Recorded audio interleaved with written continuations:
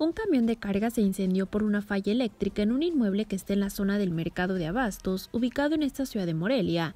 La situación movilizó a los bomberos locales y a la policía, cuyos elementos atendieron rápidamente la emergencia, trascendió en la labor periodística. El acontecimiento fue el sábado anterior, en una propiedad que está situada en la calle Arzuela. Los vecinos del lugar llamaron de inmediato al número telefónico de emergencias 911 y de esta manera acudieron al sitio los rescatistas y los elementos de seguridad pública los vulcanos rápidamente atacaron las llamas hasta sofocarlas. Los policías resguardaron el perímetro para evitar que los curiosos se acercaran. Gracias a la intervención de los tragahumos, la lumbre no se extendió a propiedades aledañas y no pasó a mayores.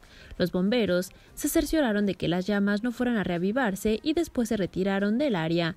Fuentes policíacas comentaron a este medio que ahora serán los peritajes respectivos de las autoridades investigadoras los que determinen qué generó el fuego, los cuales deberán de ser solicitados por el propietario del vehículo dañado, precisaron los contactos. En el trabajo noticioso se supo que al parecer el pesado automotor ardió debido a una falla eléctrica, informó para Red 113 Luz Más Cervantes.